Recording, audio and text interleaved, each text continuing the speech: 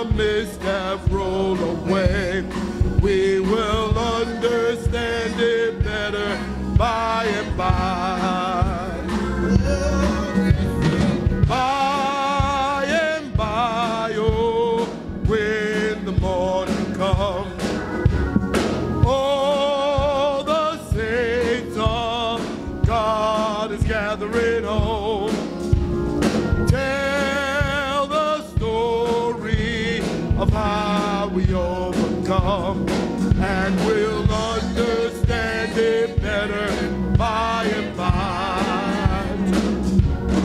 We are often destitute of the things that life demands. One of food and one of shelter, thirsty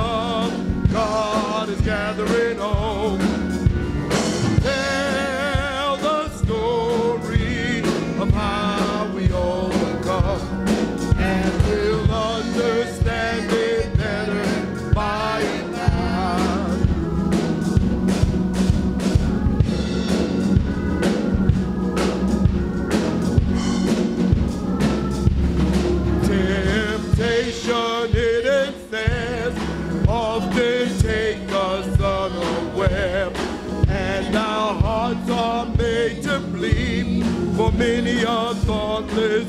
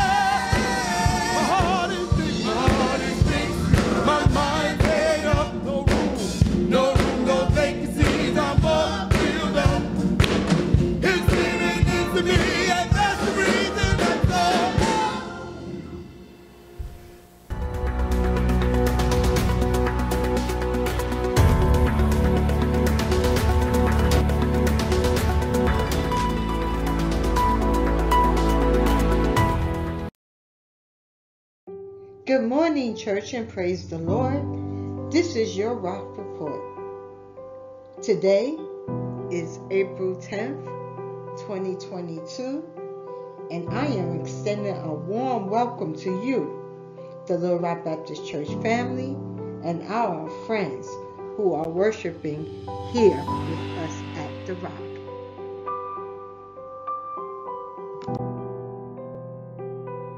And today is Palm Sunday. Happy Senior Citizens Day to all of our senior saints. We salute you. And this afternoon, between 2 and 3 p.m., our very own Deacon Woodbury will be here at the church to distribute the palms. Please stop by and receive one. Thank you. Us spread the gospel by following us on Facebook Live and YouTube, by liking and sharing today's virtual worship experience, and also by taking a selfie. Hashtag worshiping at the rock.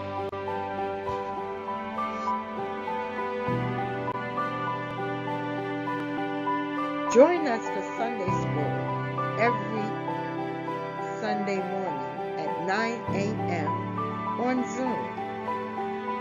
Contact Dr. Marriott to retrieve the Zoom ID and password, or you may gain access with the information provided on your screen.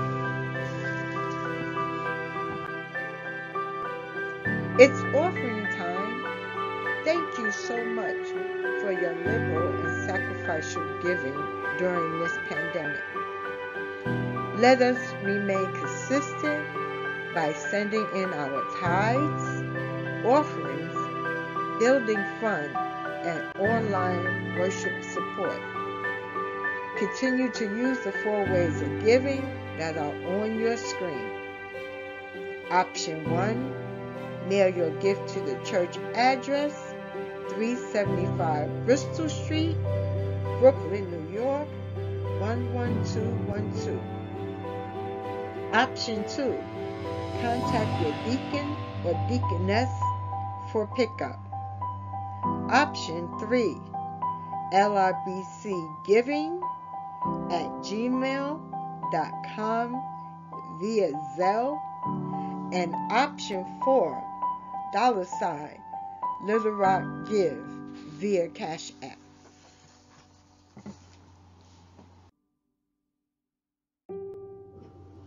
Reminder next Sunday, April 17th, is Resurrection Sunday.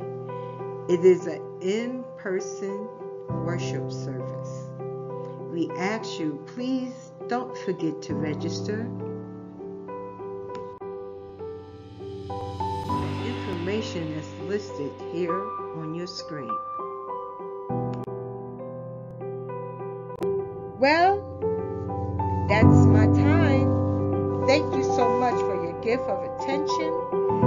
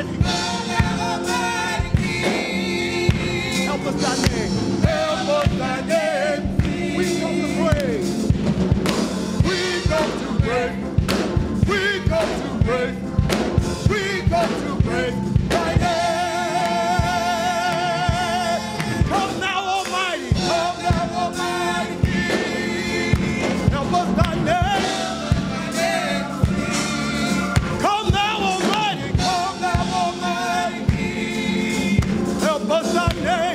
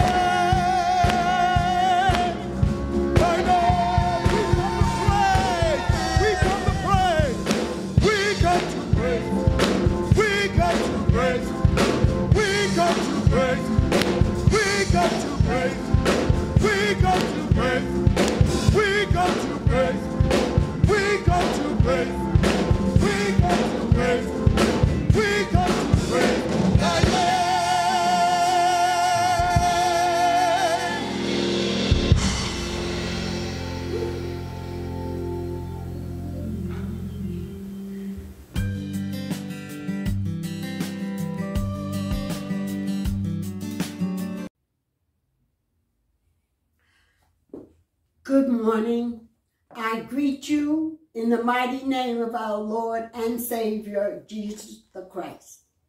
And to the chairman of the deacon board, Deacon Woodbury, and the chairman of the trustees, Deacon Thomas. My scripture today comes from First Isaiah 62, verse 11, and Jeremiah 23, verse 5.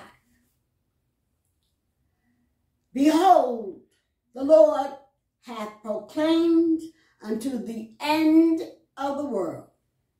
Say ye to the daughter of Zion, Behold, thy foundation cometh.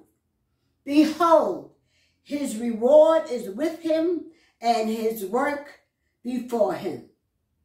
Jeremiah 23, verse 5. Behold, the days come, saith the Lord, that I will rise unto David a righteous branch, and a king shall reign and prosper, and shall execute judgment and the justice in the earth. This day is Palm Sunday, and I would like you to join me as we drop to a heavenly and listen to a heavenly conservation with our Lord and Savior, the Father of all creation, who is our God, and with his Son and the Holy Ghost. We are going to a place somewhere in the third heaven. Sometime in far back eternity, a time when only the Holy Spirit would reside. A time they are sitting together on the throne of God. The Son of God is speaking to his Father. Father, we know there is a price to be paid for the redemption for your mankind. But the cost is too high for them to be able to pay. The father answered, saying, There is none who is able to pay the cost of their salvation. Well, Father, who is able to pay their debt? Son, the father answers and said, that position is open. The answer from the Son God of God said, Father, I'll go. The Holy Ghost jumps up, saying to the Son, I've got your back. Now, thanks to God, this proclamation of Jesus was not for him, but for you and for me. The announcement of him coming to pay the price for our redemption was the sacrifice that will bring mankind back in right standing with their God. This day is Palm Sunday, is a day of celebration and remembrance for the Jews. On this day, they had been preparing to leave Egypt. This was the day before Jesus was to be at that place. Jesus came down on earth to give payment for that day, for our judgment, due to the contamination and the influence of the devil on Adam and Eve. These two humans were separated from their God, and all mankind has the same burden. We saints this day are under that judgment all mankind is responsible for that debt.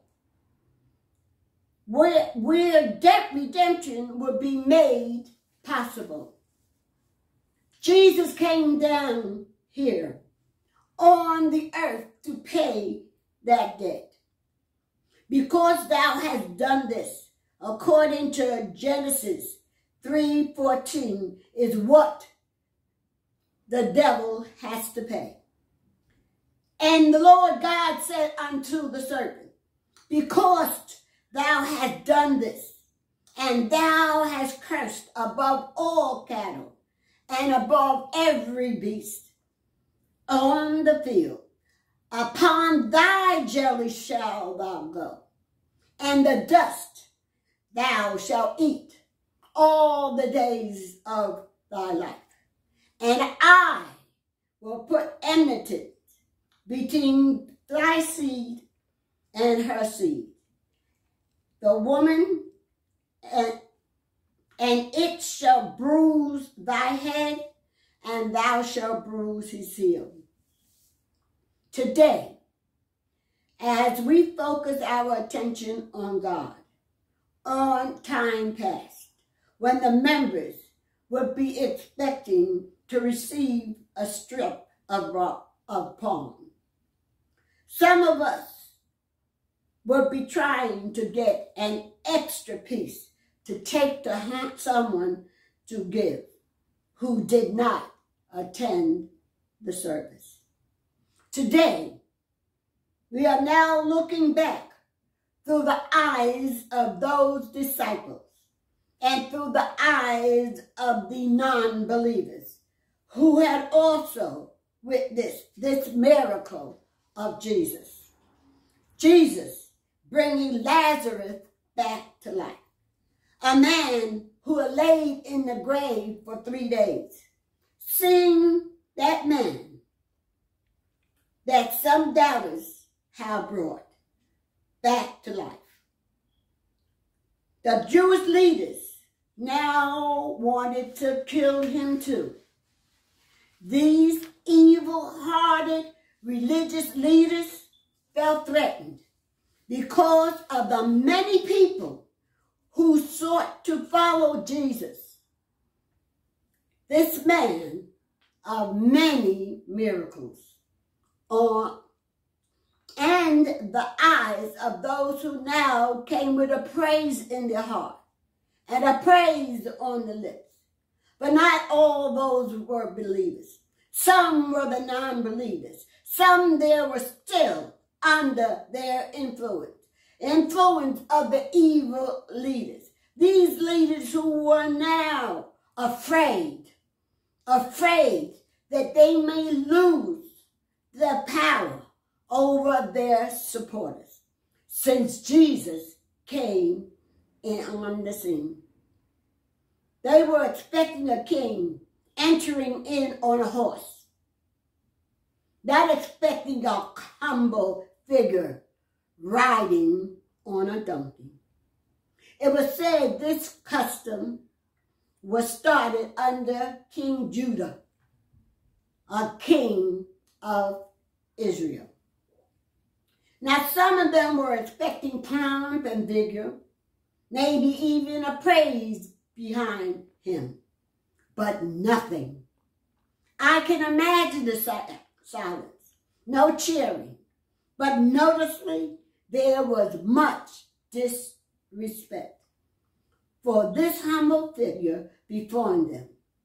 Only disbelief. There was probably loud booing and some asking the question, where is the king? Shouting, I know him. That's the carpenter's son. Some questioning. Why are those people throwing their garments before him? Why the palms? With blinded eyes, others looking for their king. The ones who were seeking to be freed from Roman bondage. They did not see this humble king before them. But those of God's children, those with open eyes saw their Savior come in. A praise, a song, singing, Hosanna, Hosanna, meaning, oh, save, God save. Those jumping and dancing like David did. A song of praise, sing hallelujah, hallelujah, the universal song of praise. There were those notable saints, saints who knew Old Testament scriptures, going through their pandemic, holding on to their vision of a better life through the spoken words of the prophets Jeremiah and Isaiah, who prophesied his forthcoming of the Messiah. This day, that day, the day before the day of our Lord and Savior, Jesus Christ, who was crucified on the cross for us. That was a conversation we heard. The third heaven, in the presence of the Holy Family, is a great love, was in that room. To our God, to be the glory. Amen.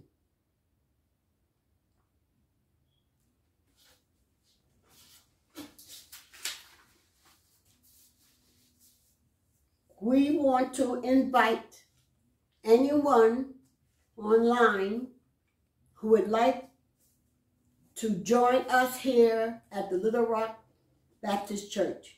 We want to know that we welcome you today. And if that is your desire, put your name in the chat and someone in this congregation will get back to you. You can put that at the attention